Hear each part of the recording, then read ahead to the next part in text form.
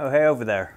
Welcome back to Zuko Builds. Sorry I'm so far away, but this week we're building an 8 foot by 8 foot conference table. I want to start by apologizing about this video not coming out on Monday. Um, there were a couple of delays, like waiting for the table legs to come in.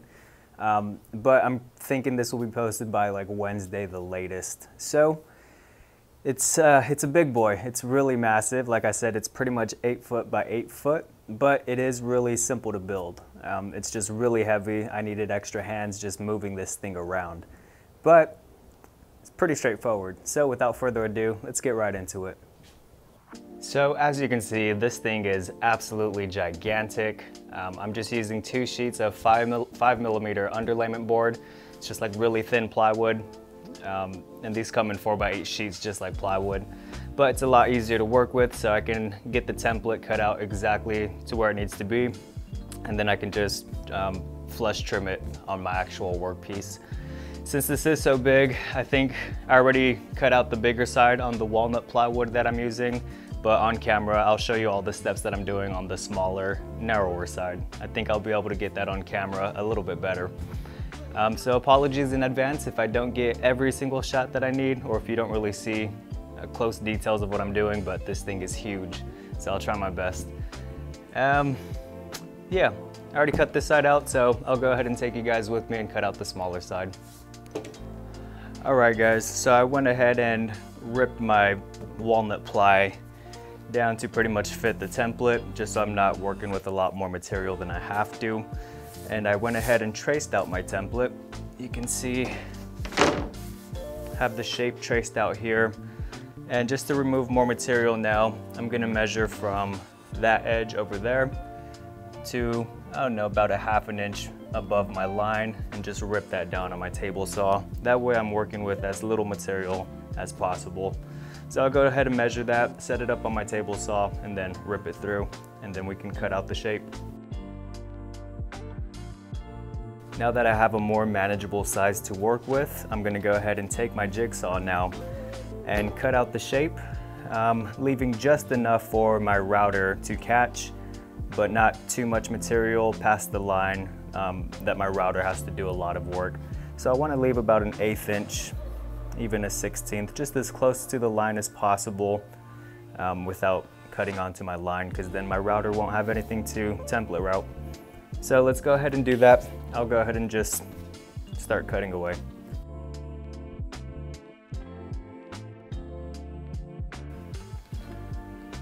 All right, I have the rough shape cut out now, the rough shape cut out now. Um, now I'm just gonna plop my template right on top and use the flush trim bit on my router. And that should give us a nice, perfect match to my template. Just make sure we have enough hanging over on all sides. That's good. Even scoop this up a little. And since I will be laminating two pieces of plywood with the same shape, just to give it a thicker tabletop, um, I'm just gonna go ahead and fasten some number six screws to the workpiece. Um, and then I can just use the side that has the holes on the laminated side. But I will be using number six screws, so if I do, for whatever reason, need to use the side that I drilled into, there will be smaller holes to fill. Um, but yeah, I'm just gonna go ahead and pop some screws in, of course, uh, drilling pilot holes first, and then use a router to cut it out.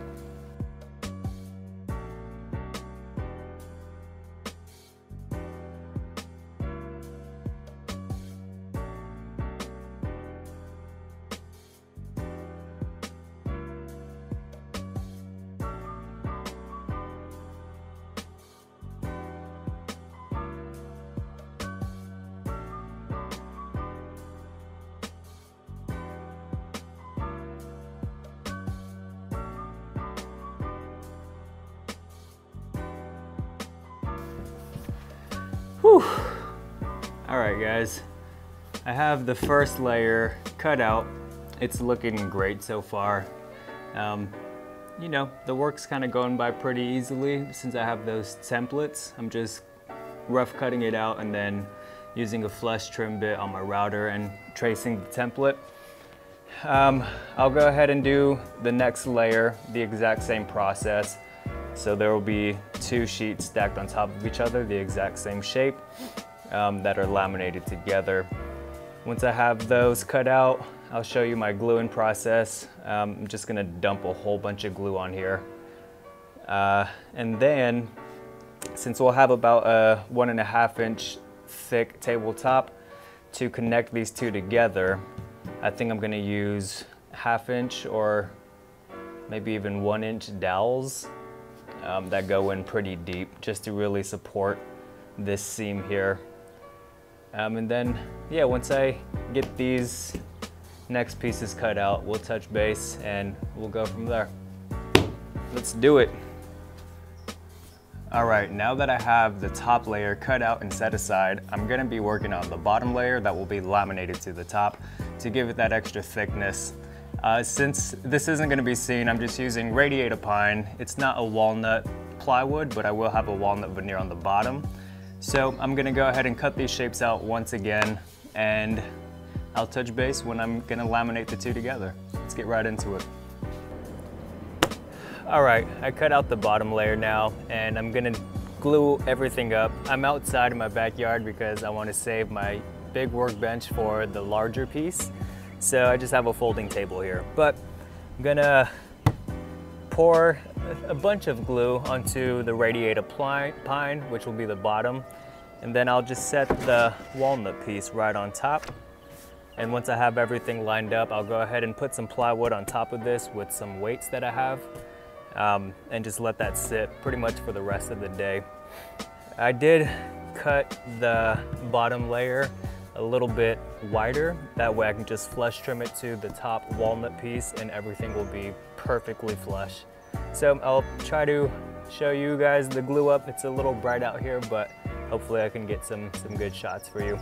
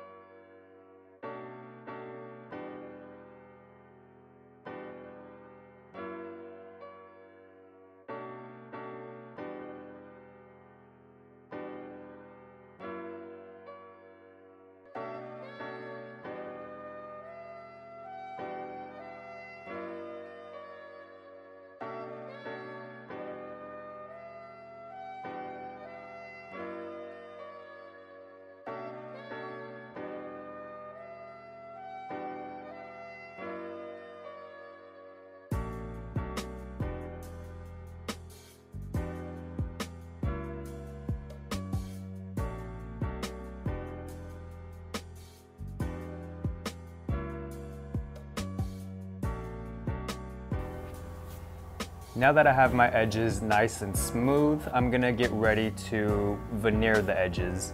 To do that, to prep for it, I'm gonna put blue masking tape or blue painter's tape on the face.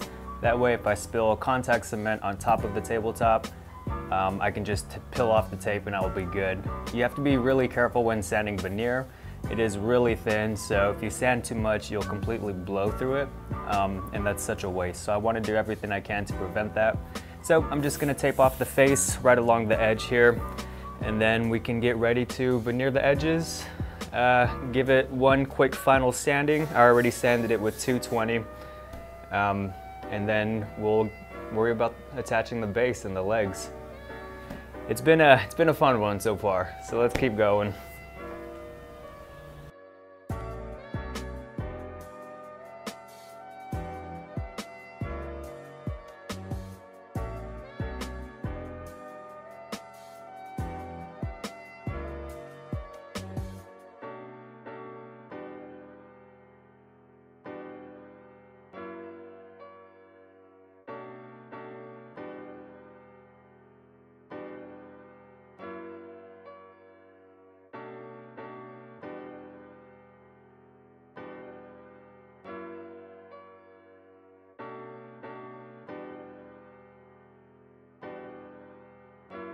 All right, so I flipped this whole thing over. The walnut side is now on the bottom.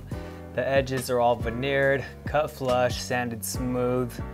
Now I have to, I was gonna make this all one piece and glue it up using dowels, but it'll be damn near impossible to move it around and possibly won't even fit through the doors of where this is going to.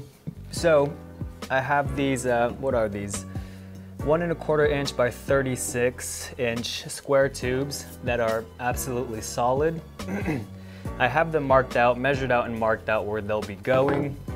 I'm gonna route out pretty much a, a groove or a dado for these to slide in, doing about halfway, so half of these holes here.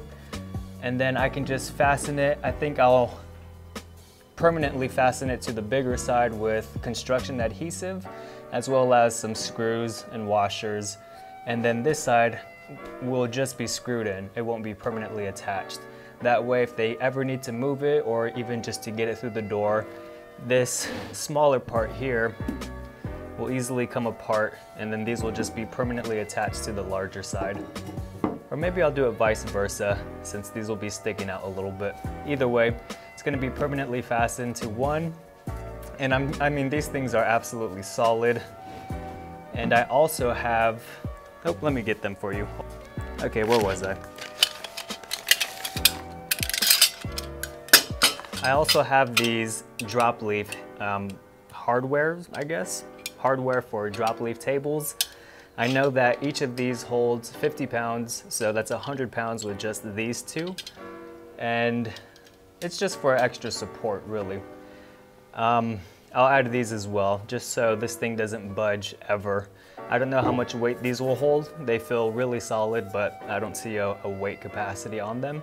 So I have these two, so I know it'll hold 100 pounds for sure. And this, this smaller portion only weighs about 50 pounds. Um, and for alignment, for them to uh, easily take apart and put back together, I'll be adding half inch dowels. I already marked them out. Half inch dowels, so you just line it up with the dowels. These will have dados already. Everything will be pretty straightforward to get it back to the shape. Um, so I'll go ahead and start by routing out the dados for the square tubes, and then I'll go ahead and fasten the leaves, or actually I'll, I'll, drill out the dowels first and then add the, the leaf hinges. Um, yeah, and this thing should be pretty solid. So I have the legs coming in tomorrow. I'm just gonna screw those on really straightforward. Um, but let's go ahead and finish this part and see what it looks like.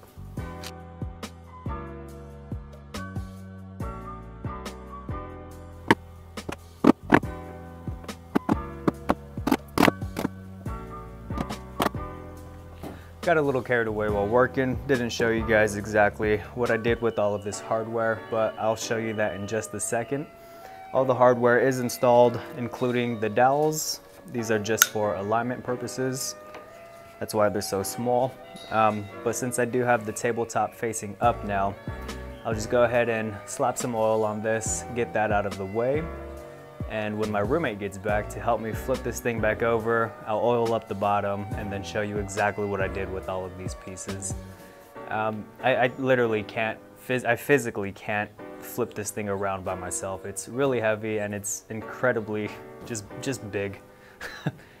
it's, uh, yeah, I've tried moving it and got a little, got a little dangerous. So don't want to ruin this. I'll wait for my roommate to get back, oil the bottom side and then pretty much just show you what I did here. Let's get right into it.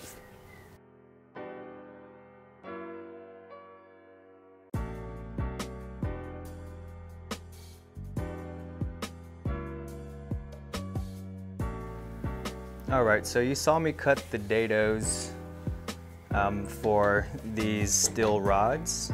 I have it loosely in here right now, but I'm just gonna attach maybe four screws on each side with some washers. These are just two inch screws and that should be good. Four on this side and then four on the top half. And these are the leaf hinges. Installing these is super easy. You just make sure that this hook here is a little bit past the seam of whatever um, whatever leaf or tabletop you're mounting this to. You just want to make sure, I have it on the bigger side, so it's only supporting the smaller side. Um, and each of these hold 50 pounds, so 100 pounds total, plus I'll have a leg for the top part of it as well. So I've already tested it. They are super sturdy actually. I'm really happy with these. Uh, maybe I'll leave a link down below. Got them for pretty cheap. And then the only other thing is, let's pick you up here.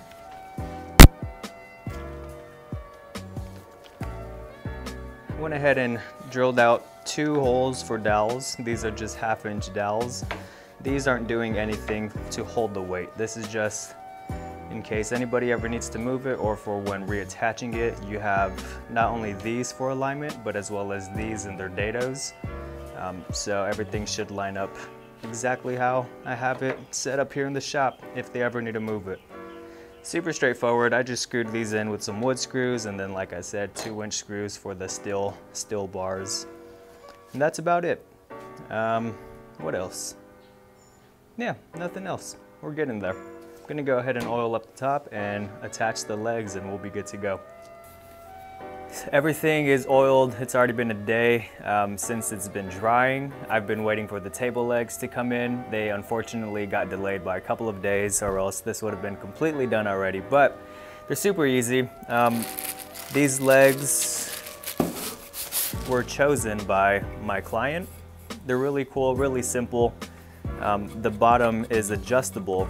The foot is adjustable so that if you're on something unleveled, uh, this will level it out for you. And it's just two pieces.